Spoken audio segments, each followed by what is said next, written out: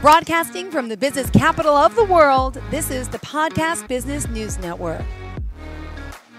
We are back with Joe Grabas. He's the owner of his own company, the Grabas Institute uh, for Continuing Education, also a genealogist, uh, also quite uh, the expert when it comes to real estate and land ownership and the title industry. He knows a lot, and he's joining us here today. It's continuingeducationnj.com. That's his website, and we want to welcome you back to the show. How are you?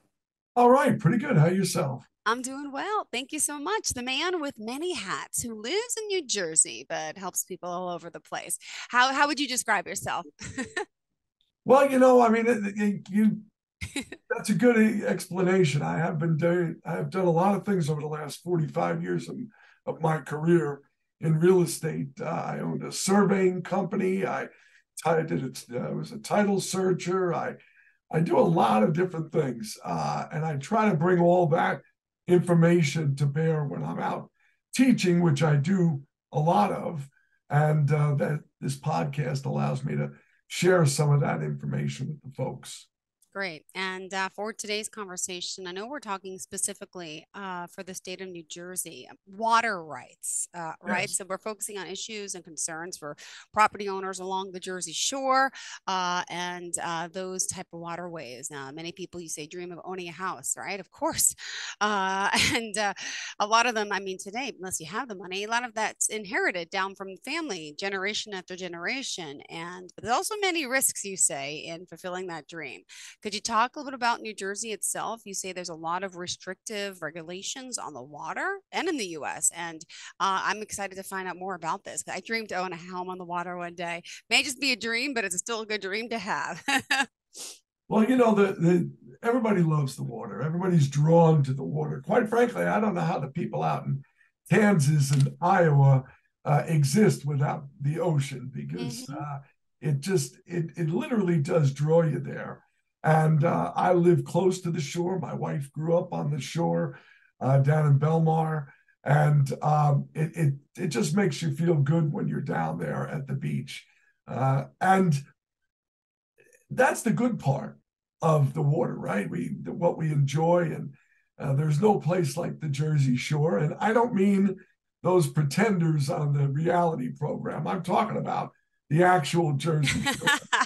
Um, yes, good to point out. Mm-hmm. Yes, yes, please forget about those folks. Um, and so those are the benefits to it. And we're lucky in New Jersey because we have some of the cleanest water in the United States uh, on the shore and inland in uh, freshwater lakes and streams and rivers.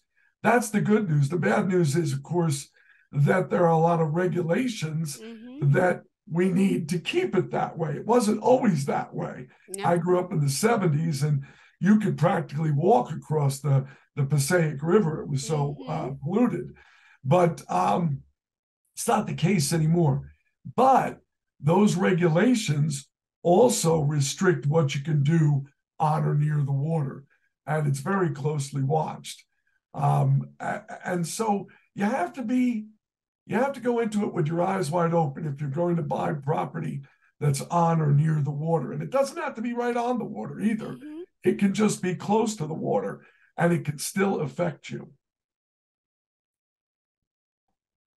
Uh, for the last 10 years, well, 11 years, I've sat on the New Jersey Tidelands Resource Council, uh, which is the state commission that manages the state's interest in the lands now or formerly flowed by tidal waters. Mm-hmm. So you can buy a piece of property, say down in Long Beach Island, and it feels like it's in the middle of the of the island, and yet hundred years ago a stream ran underneath it, and the state claims ownership to that. Even though you're getting a deed for the whole property, you still may not own it. And the state may come to you today and say, you need to buy that from us for you to refinance it or convey it uh, or use it. Uh, and that's a shock to a lot of people. Mm-hmm. Uh, so these are things that you really have to be concerned about when you're looking to purchase property down uh, near the ocean or near a body of water. Uh, the other thing you have to be concerned about is regulation. Uh, what I was just talking about is ownership of the land, where the state says we actually own it. You never owned it. We took title back in 1776 mm-hmm. when we mm-hmm. beat the English. Uh, but what I'm talking about is more recent regulation that says you can't do certain things near the water. You mm-hmm. can't cut the grass. You can't put down pesticides. You can't change the topography. You can't uh, build buildings or other structures near the water. You can't put uh, sewer systems in near the water. All these different things affect the way that you can use your property.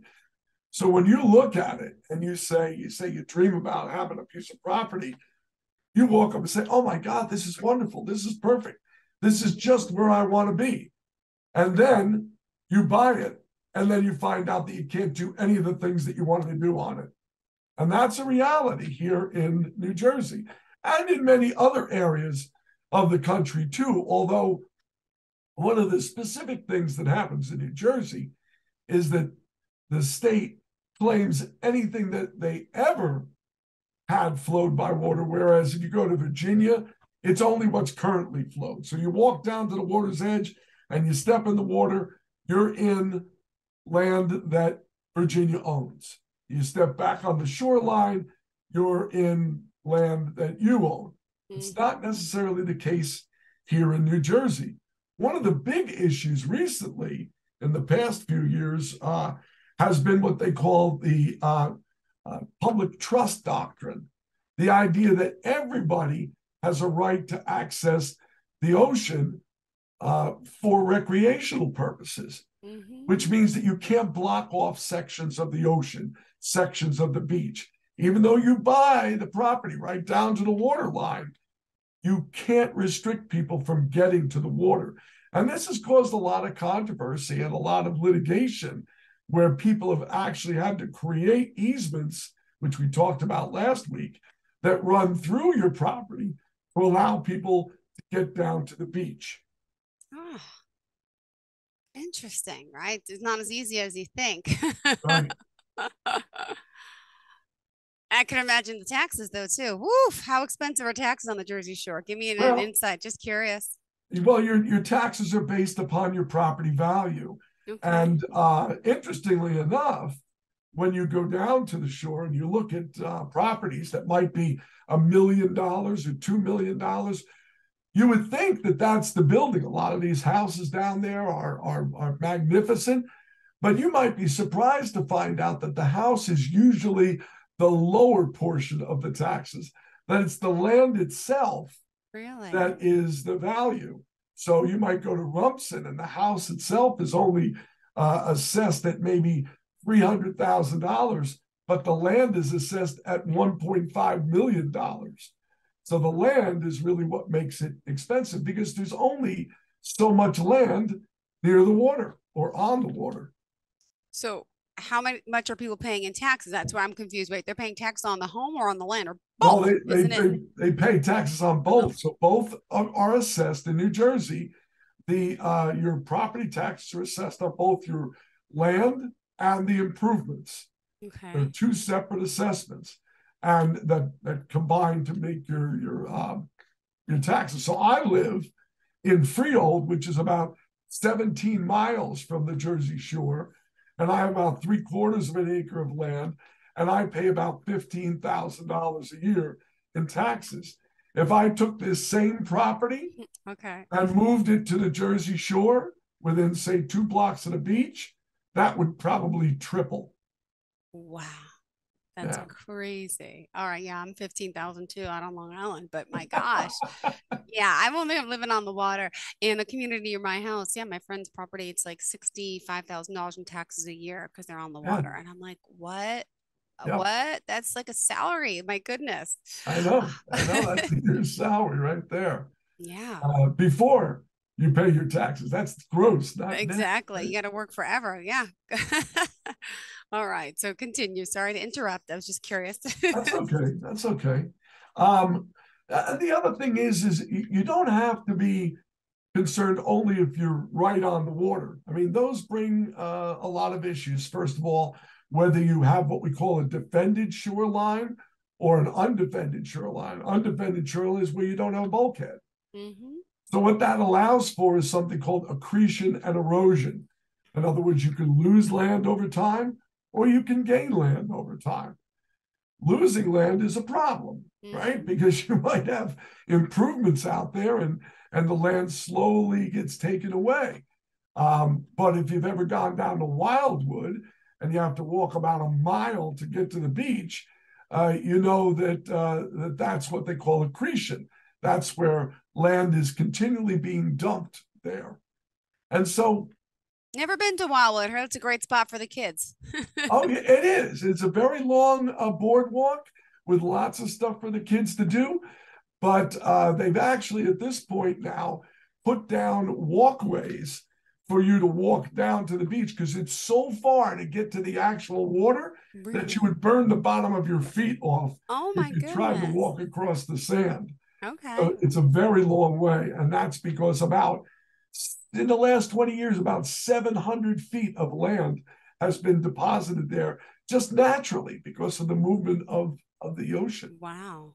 Um, so if you have a defended shoreline, meaning, meaning you have a bulkhead, you have to be concerned about that because not only do you have to install the thing and it, it costs money to do that, but you also have to get permits to do it. You can't do anything near the shore in Jersey unless you get a permit. It's under what they call CAFRA. The law is called CAFRA. It's called the Coastal Area um, Facilities Resource Act. And so you have to go to the state and you have to apply for a specific permit so that you don't uh, disturb the natural environment. Wow. If you want to put a, uh, a dock or a, a boat slip on the water. You have to get a permit for that. And it's a process. It costs some money. It's not overly expensive mm-hmm. for the permit, but you may have to get engineering uh, uh, consultations, uh, surveys, things of that nature. Of course, the installation of the dock itself, driving pilings, et cetera, et cetera. Um, it's it's a process, and so uh, especially since the state doesn't sell land out in the water anymore. Mm-hmm. So you have to get a license. Then that means you have to pay a license fee every year. So it can be expensive. And it's not just the cost of buying the property on the water, it's the cost of maintaining the, the bulkhead and the docks uh, and the cost of the uh, installation and the cost of the permits. So it, it adds up. It's not just that. Uh, you know, $65,000 a year in taxes. It's it's much more than that. Wow. Wow, wow, wow. Remind us, uh, Joe, how we can reach you. We're about halfway through, so just got to remind everyone how we can contact you. Sure. You can contact me as we actually just got a new website. So our website is uh, www.gicenj.com. And you can also contact us as at www www.forensictitleexpert.com. Perfect. Thank you so much. Let's continue. What else do we need to know? So I, I think probably the biggest shocker to people is that um, how does the state of New Jersey own your property still today? How, if you paid fair market value for your property, how can they own it? Well, it's because the state takes the position that they've always owned it. Mm-hmm. That the person who sold it to you, who bought it from somebody else, who bought it from somebody else, never had the right to sell that property. Mm-hmm. And it wasn't always this way. Well, actually, it was always this way, but it wasn't enforced. And then there was a big case in 1967 uh, before the court, and the court came out and said, yes, the state owns all the land, not only currently flowed by the water, but any time in the past, all the way back into the 1800s, doesn't matter. Mm-hmm. And so what happens is they filed a bunch of maps in the 70s and 80s, and a lot of people don't know that. So say your grandpa bought a property down in uh, Seaside Park yeah. back in the 60s. Well, there were no maps then. Nobody knew. When he walked up and bought it, it was dry land. Yeah. And he paid his money for it and he thought he owned it. And then today he goes to sell it some 50 years or more later. They do a title search and they find out that 100% of his property is in an old Wow. stream. And the state says we owned it. What? And you have to pay now, not what he paid back in 65. You have to pay today's value for the land. Wow. This comes as a huge shock to people. And uh, having sat on the council for the last two years, I've seen people who bought a property in 65 for $15,000. And today they're being asked to pay the state $500,000 to buy their property back. What? Yes. Wow. I know it seems crazy, but that is the law in New Jersey. So if you're considering buying that property down on the water, these are things you definitely have to be concerned about. Mm-hmm. You have to do your what they call due diligence, looking at it very, very carefully and very closely. Ooh. Wow, that is crazy. Yeah, You think Yeah. you own something and you kind of don't, and now you're owing them. I don't like it- this. it's it's almost unconceivable, Yeah, it really is. It's but it happens every it's- day. We listen to about we have about 30 applications that come before us every month, every single month. In some cases, title insurance covers the cost. Some cases, Okay. uh, you would get uh, certain discounts, uh, considerable discount, a 75% discount. But uh, basically, if you bought the property after 1982, you're probably not going to be eligible for any discount, and you're going to have to pay the full price. And you better hope that you have title insurance Oh that'll help gosh. to cover some of that. So is this similar to eminent domain or um So, I get confused with that and then the condemnation. Could you talk about that?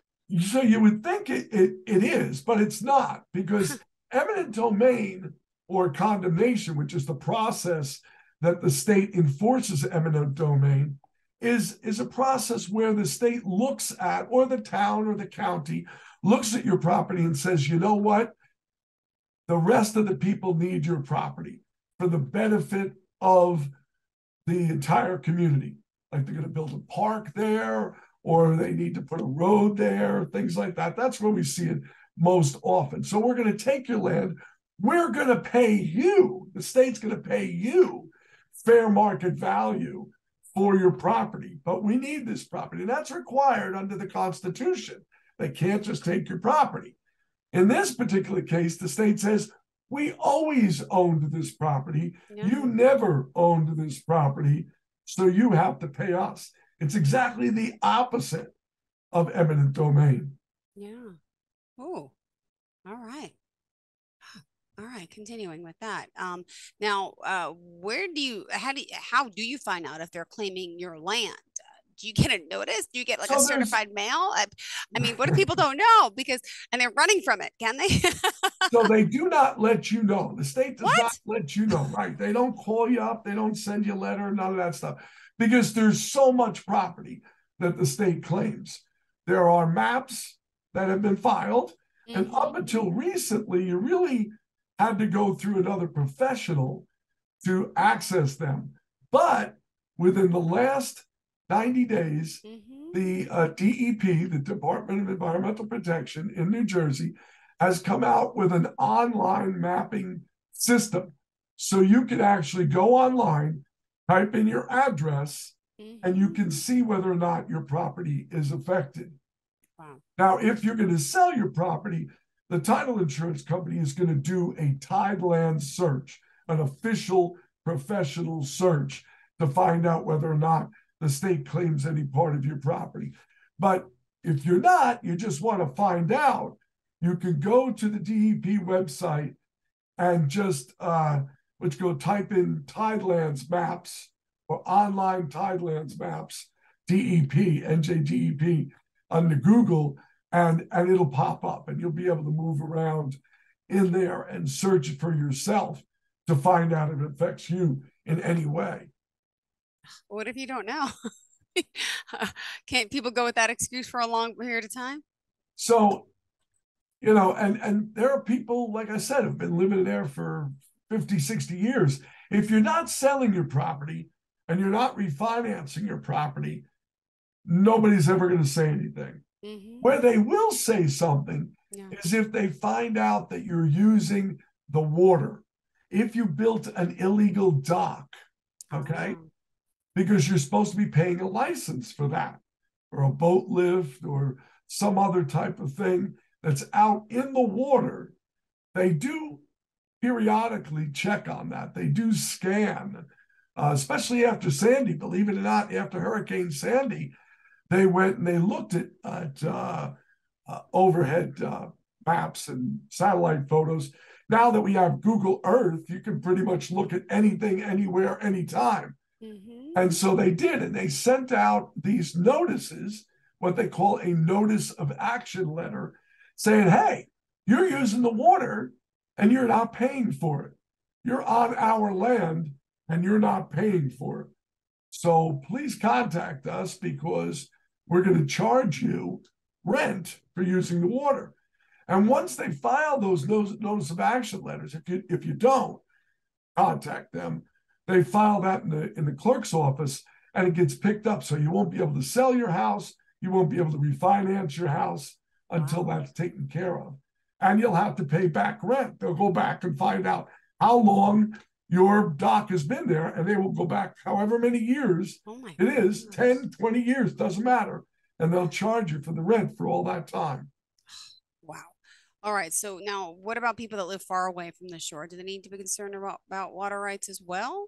So it, it's not so much CAFRA and tidelands issues, but what you have away from the shore uh, are um, what they call wetlands laws, freshwater wetlands laws. That's what I was talking a little about about in the beginning, where uh, if your air, if any part of your property has been deemed a wetland, and you don't know about that either, they don't send you a a notification and say, "Hey, your property is a wetland." You can mm-hmm. usually go to your local town and they'll have online wetlands maps and you can see whether your property is in the wetlands or once again, you can go to the, um, the DEP site and type in wetlands maps and see if you're in a wetland.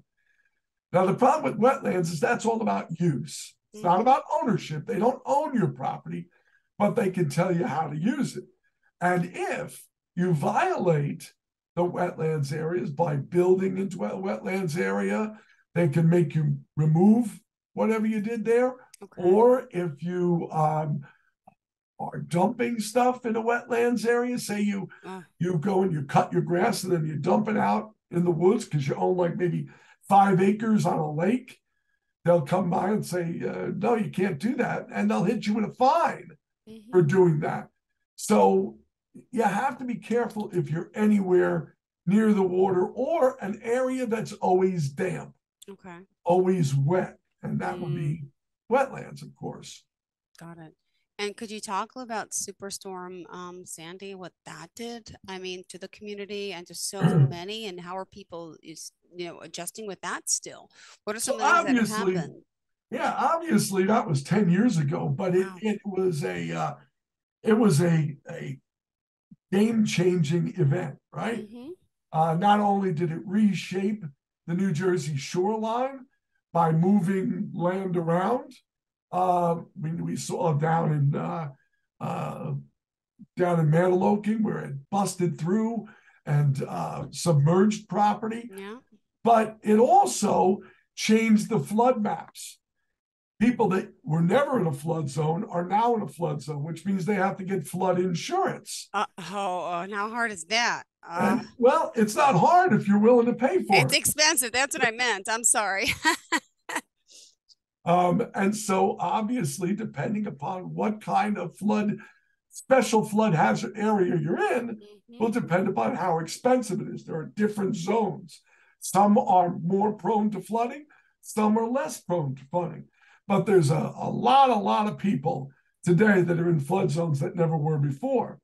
Now, one of the big changes, especially down further south in New Jersey, like in Avalon, and um, down Long Beach Island, many of the towns down there have adopted a situation where they make you file a restriction on your own property Oh, wow. uh, that says you have to comply with the federal emergency management regulations, which means lifting your house above the base flood a- uh, elevation. Okay. If you don't do that, then you'll be in violation of that. It'll prevent you from being able to uh, to sell your house. And a lot of people took advantage of programs that they had back at that time to lift their homes up onto stilts, uh, raise them in general, or they didn't. And if they didn't, they could find that they'll have a problem when they go to sell their property down the road. Oh my goodness, there's so much too. Oh my gosh, maybe we should just continue renting. No, no. I mean, everyone wants to own property. I know, I know, I know. Oh gosh. Oh, Well, that's that's what I do. I rent down the shore and I let it be somebody else's problem.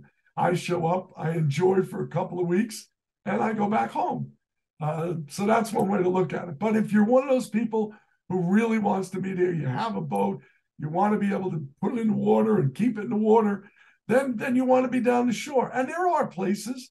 Uh, there are lots of places where you can go that are are uh, more amenable places that are in uh, lagoon communities where the water isn't owned by the state. Uh, even though it is the water, it's not owned by the state, it's owned by the Lagoon Association. And so that's why you have to do your due diligence. You have to check these things out carefully to find out whether or not you're you front on water that's owned by the state of New Jersey or not owned by the state of New Jersey. And then what the rules are in that particular lagoon community. Some are much more restrictive and some are not restrictive at all. yeah. Wow. All right. Well, we got to get moving here. My goodness, it happened so quick. Uh, uh, tell us, uh, Joe Grabas, how we can reach you and to our listeners as well. Once again, you can contact me at www.gicenj.com or www.forensictitleexpert.com. Perfect. Well, thank you for being here again and looking forward to next week when we connect. Thanks for the information. You got me thinking now. I got to also search Wildwood. Let me just ask a question, personal question for the kids. What are some of the best spots to go for the kids? Is that like the place or is there other places in the Jersey Shore that are good for children? Like Seaside Heights used to be cool, but I don't know. I, I haven't been down there. I mean, I went to Seaside Heights growing up as a kid. Uh, obviously, they have a boardwalk there. They have a boardwalk in Wildwood. Um, Ocean City is a dry town. Okay. They have a boat, a boat, a boardwalk there. That's a great place for families. The other place that's a great place for families, which is my favorite, is uh, Cape May. Cape May, Uh, I'm writing them down. Thank you so much. All right, I'm going to do some research. I'm going to take some short little summer trips this year. So thanks for that. Have a great day, Joe. We'll talk next All right, week. you Bye take bye. care. Good to Thank you.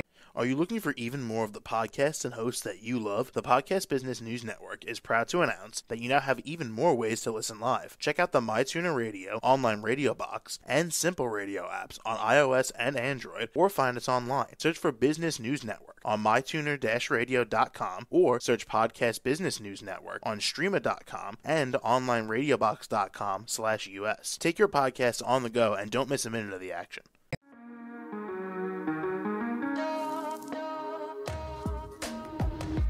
Broadcasting from the business capital of the world, this is the Podcast Business News Network. For nearly 2,000 severely injured veterans, everyday life has become filled with barriers. Day to day simple tasks can become pretty daunting. I have to carry my chair up two flights of steps or have somebody do it for me. What scares me the most is just the falling. when I'm struggling with my house, I think, you know, to have that one great barrier just knocked down, I mean, it's, it's crucial. Home for Our Troops is a wonderful nonprofit that builds a mortgage free, fully adaptive, handicap accessible house. And there's no catch. It'll be our very first home that we've ever owned. This is a game changer. This is where your life begins again. We need you to join us in completing this important mission. Please visit hfotusa.org and help build homes. and rebuild lives. Because of you, everything's going to be okay.